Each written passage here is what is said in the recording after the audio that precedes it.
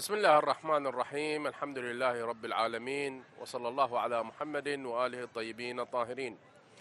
أسعد الله أوقاتكم سادتي المشاهدين الكرام وهذه الحلقة الجديدة من برنامج أنا علي والذي يتناول فيه أهم المناقب والفضائل التي وردت في خطبة أمير المؤمنين عليه السلام الافتخارية. في هذه الحلقة سنتناول بعض الفقرات التي وردت في هذه الخطبة المباركة ونبتدئها بقوله عليه السلام أنا قاتل الجبابرة. الجبار يأتي في اللغة بمعنى شديد البأس والبطش يسمى بالجبار. وأن الله سبحانه وتعالى قد استخدم هذه العبارة في القرآن الكريم للإشارة إلى الأقوام الكافرين بالأنبياء والذين كانوا يتمتعون ببطش وشدة وغلظة تجاه الأنبياء ودعوتهم الإلهية. لاحظوا الله سبحانه وتعالى يقول في وصف بعض أقوام موسى أو بعض قوم موسى سلام الله عليه. قال بسم الله الرحمن الرحيم. قالوا يا موسى إن فيها قوما جبارين. لاحظوا وصفهم الله سبحانه وتعالى. وصف استخدم كلمة الجبارين على لسان قوم موسى. وإنا لن ندخلها حتى يخرجوا منها فإن يخرجوا منها فإنا داخلون. فوصفوا قوم موسى. هؤلاء الأشخاص الذين كانوا في هذه القرية بأنهم قوما قوما جبارين. وكذلك في قصة نبي الله هود عليه السلام قال وإذا بطشتم بطشتم جبارين. يعني شديدين البأس والغلظة والغدر والنكال بالنبي صلى الله بالنبي عليه السلام وبدعوته الإلهية. هنا أمير المؤمنين عليه السلام قال أنا قاتل الجبابرة. لاحظوا أنه لم يقل بأنني قاتل الأعداء أو قاتل الجنود أو قاتل الكفار أو قاتل المشركين لا. قال أنا قاتل الجبابرة يعني كنت أقتل الأشخاص الذين كانوا شديدين البأس شديدين البطش المعاندين الذين كانوا يشكلون خطرا على الدعوة الإسلامية. فأنا كنت أختار هؤلاء الأشخاص في المعارك وكنت أنزل بهم هذا القصاص وأنزل بهم القتل. كذلك يقول علي عليه السلام أنا الذخيرة في الدنيا والآخرة. علي عليه السلام هو الذخيرة لنا ذخير الذخيرة للمؤمنين في الدنيا وفي الآخرة. الذخيرة هو كل شيء يحفظ لوقت الحاجة يسمى بالذخيرة. فعلي عليه السلام يصف نفسه بأنه هو ذخيرة للمؤمن في الدنيا وفي الآخرة. كيف يكون علي عليه السلام ذخيرة لنا في الدنيا وفي الآخرة؟ لاحظوا قبل أن نأتي ونبين كيفية هذا الأمر وبيان هذا المعنى. نشير إلى أنه الأئمة سلام الله عليهم وأهل البيت سلام الله عليهم أرادوا من شيعتهم أن يلجأوا دائما إليهم سلام الله عليهم أن يلجأوا إليهم في حوائجهم الدنيوية أو في حوائجهم الأخروية. لا فرق في ذلك. وأرادوا دائما أن يتوسلوا بهم وأن يطلبوا الحوائج منهم. سأنقل لكم روايتين تبين هذا المضمون وسننتقل بعدها إلى بيان باقي الحديث. رواية وردت عن أبي هاشم الجعفري قال شكوت إلى أبي محمد عليه السلام ضيق الحبس وكتل القيد فكتب إلي أنت تصلي اليوم الظهر في منزلك. فخرجت في وقت الظهر فصليت في منزلي كما قال عليه السلام. وكنت مضيقا فأردت أن أطلب منه دنانير. فأردت أن أطلب منه دنانير في الكتاب فاستحييت. فلما صرت إلى منزلي وجه إلي بمئة دينار. وكتب إليه إذا كانت لك حاجة فلا تستحي ولا تحتشم واطلبها فإنك ترى ما تحب إن شاء الله تعالى. هذا الشخص كان يمر بضائقة مالية وكان يمر بضائقا في رزقه وكان مهموما من وراء هذا الأمر. فعندما ذهب إلى الإمام أبي محمد عليه السلام أراد أن يسأله هذه الدنانير وأراد أن يطلب منه هذه الدنانير ولكنه استحى أن يطلب من الإمام عليه السلام هذه الدنانير. ولكن الإمام عليه السلام أخبره بأنه إذا كانت لديك حاجة لا تستحي اطلبها فنحن نقضيها لك إن شاء الله تعالى. وهذا تعليم لنا جميعا بأنه إذا كانت لك حاجة فيجب عليك أن تطلبها من الأئمة عليهم السلام تطلبها من أهل البيت سلام الله عليهم. لا تستحي في طلب حاجتك من أهل البيت سلام الله عليهم لأنهم هم أبواب الله سبحانه وتعالى.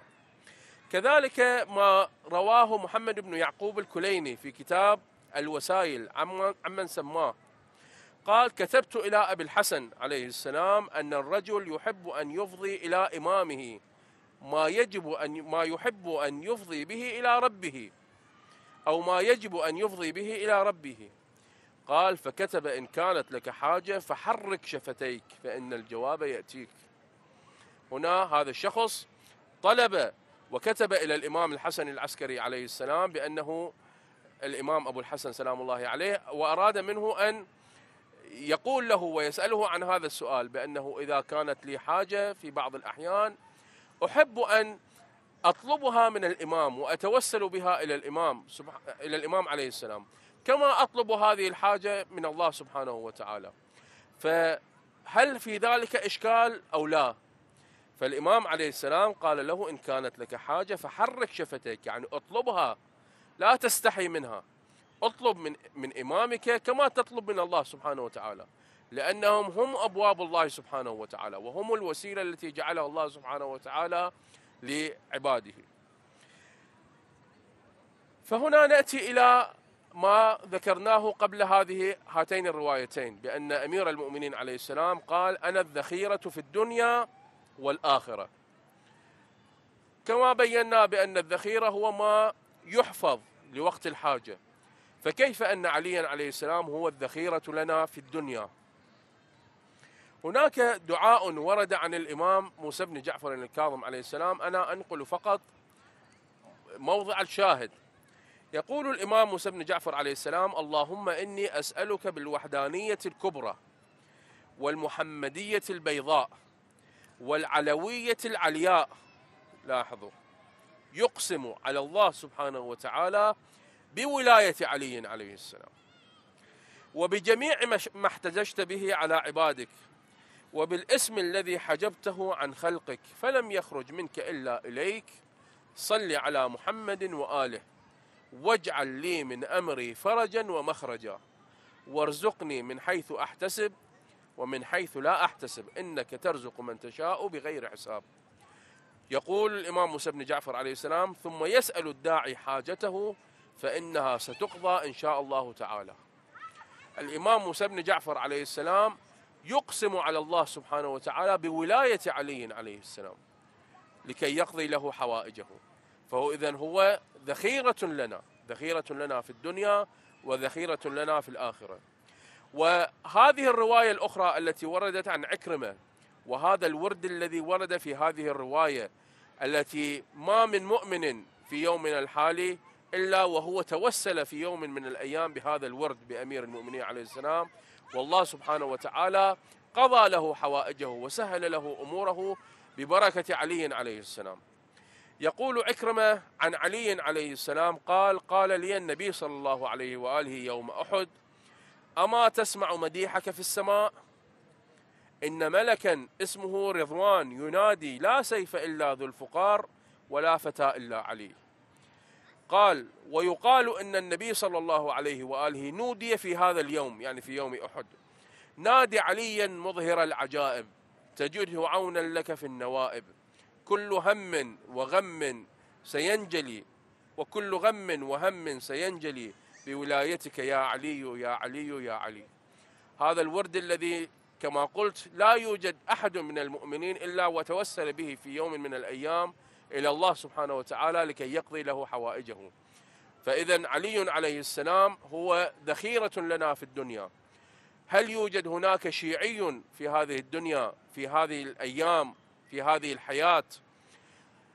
توسل بعلي عليه السلام في حاجة من حوائجه ورده علي عليه السلام خائبا.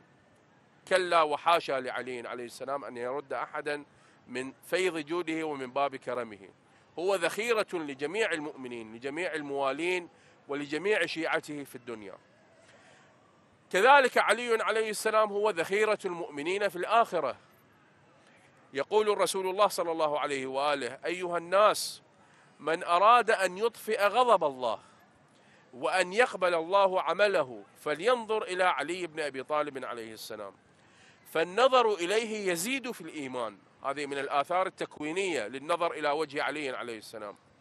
رزقنا الله وإياكم الرؤية إلى وجهه الشريف في أيام الرجعة المباركة حيث سيرجع إلى هذا هذا العالم وسيحكم بعد هذا الظلم وبعد هذا الجور.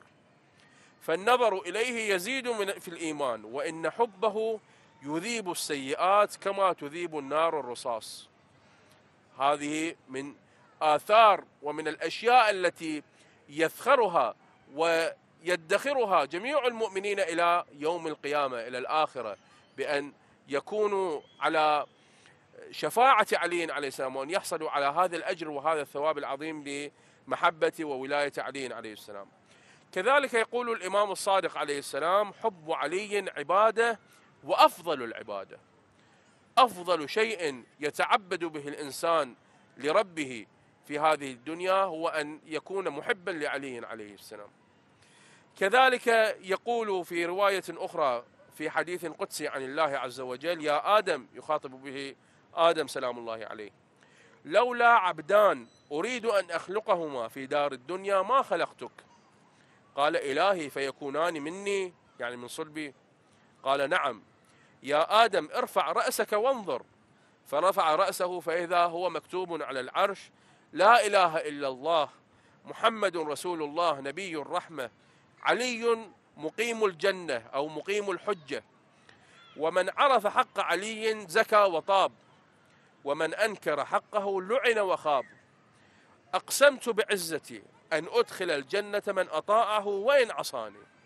وأقسمت بعزتي أن أدخل النار من عصاه وإن أطاعني. لماذا؟ لأنه جاء من غير الطريق الذي أراده الله سبحانه وتعالى. الشخص الذي يكون مطيعا لله سبحانه وتعالى بغير طريق علي عليه السلام وبغير نهج علي عليه السلام وبغير ولايته لا يكون مطيعا لله سبحانه وتعالى. لذلك هذا الشخص الذي يكون مطيعا لله وعاصيا لعلي سيحشر في جهنم. بعكس الشخص الذي يكون مطيعا لعلي وعاصيا لله فهو سينال شفاعة علي عليه السلام لأنه قصد الله سبحانه وتعالى من الطريق الذي أراده. كذلك في رواية أخرى عن ابن عباس قال قال رسول الله صلى الله عليه وآله حب علي بن أبي طالب عليه السلام يأكل السيئات كما تأكل النار الحطب. كما أن النار تأكل الحطب كذلك حب علي عليه السلام يأكل سيئات الإنسان وسيئات المؤمن كما تأكل النار الحطب. إذا يتبين لنا بأنه من خلال هذه الروايات المباركة بأن عليا عليه السلام هو ذخيرة لنا في الدنيا وذخيرة لنا في الآخرة. جعلنا الله وإياكم من الفائزين بحب علي عليه السلام في الدنيا ومن الفائزين بشفاعته في الآخرة. والحمد لله رب العالمين. وصلى الله على محمد وآله الطيبين الطاهرين.